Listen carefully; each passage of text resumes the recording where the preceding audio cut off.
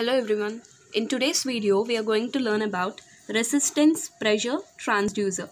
This is a main type of resistive transducers. Measurement in the resistive type of transducer is based on the fact that a change in the pressure, whenever a change in pressure occurs, then it results in a resistance change in the sensing element. When pressure changes, then the sensing element's resistance also changes. Here, what is meant by resistance? Resistance is the property that which restricts the flow of current. Resistance pressure transducers are of two types mainly. Here we have two types of resistance pressure transducers. First one is electromechanical resistance transducer. See, electromechanical resistance transducer. The name itself tells us that it involves both electrical and mechanical energies.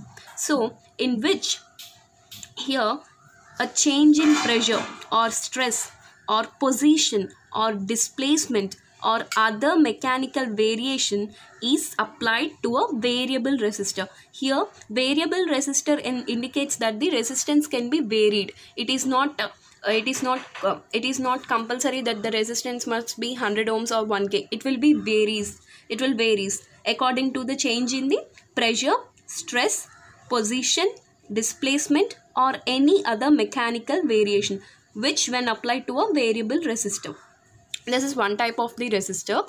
And next one is strain gauge. When there is a stress when there is a where the stress acts directly on the resistance. Here in the strain in the strain gauge the stress is the most important factor which affects the resistance directly it is very commonly used for stress and displacement measurement. If stress is applied, then the resistance changes. If at all a moving or a, a movable object is placed in front of the strain gauge, then the displacement will also occur, right? So, by using the strain gauge, we can measure stress and displacement in the instrumentation. In the general case of pressure measurement, the sensitive resistance element may take other forms you see we are going to measure the pressure right here in the resistive uh, pressure transducer we are going to measure the pressure. See the sensitive resistive element resistance element may take other forms means the resistance can be in any form depending on the mechanical arrangement on which the pressure is caused to act on which on which type of mechanical arrangement is there in the system how the pressure is acted depending on that the resistive element the sensitive resistive element takes different forms. In figures 1 and 2 shows us the two ways by which the pressure changes acts to influence the sensitive resistive element. Here by which the pressure varies the resistance element also varies right? I mean in the position or in the pressure the pressure var- the pressure variation varies the resistance also. They are two types bellow type and diaphragm type. Here these are the types of the materials. I mean the way the system is kept in each of these cases the element moved by the pressure change is made to cause a change in the resistance. See, the element is moved due to the pressure change. Then it causes the change in the resistance, which is a sensitive element. This resistance change can be made part of a bridge circuit. It can be made part of a bridge circuit and then taken as either AC or DC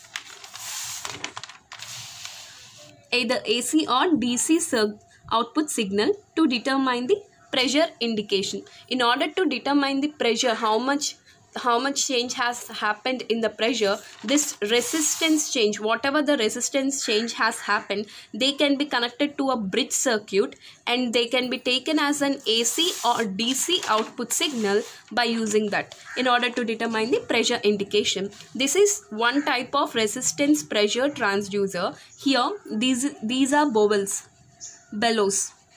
Sorry these are bellows. This is the type of transducer. See the arrangement. First here bellows are there. This is a resistance leads to external bridge circuit. to external bridge circuit. We have to connect the resistance to the external bridge circuit right? Resistance change. So these are the leads which are which are used to connect to the external bridge circuit. See this one and this one. I hope you can see it. This is our resistor variable resistor to be prefer specific. This is our resistor means resistance change occurs. Actually this is a spring. If spring is forced if pressure is applied this side it will contract right? And then it will expand like that. And here we have this resistance contacts resistance contact. In order to connect the bevels to the bellows to this variable spring we are using this contact u-shaped one. U-shaped one contact is used here this is kept in a glass jar like this and it is the pressure inlet. From here we'll will give the input as the pressure. When pressure is applied from here then this will also contract right? This will contract and expand which causes this spring to contract and expand. This movement of the pressure from here to here from here it will come right? So this pressure inlet will cause the expansion and contraction in this spring which will affect the resistance of that material here these are the two resistance leads which are used to connect the bridge circuit. Bellows movement coupled to movable resistance contacts. See bellows movement, these are the bellows right. Bellows movement is coupled to movable resistance contact. See this is a movable resistance contact and this is also a movable resistance contact. I hope you understood it, understand it. This is sensitive diaphragm moves resistance contact.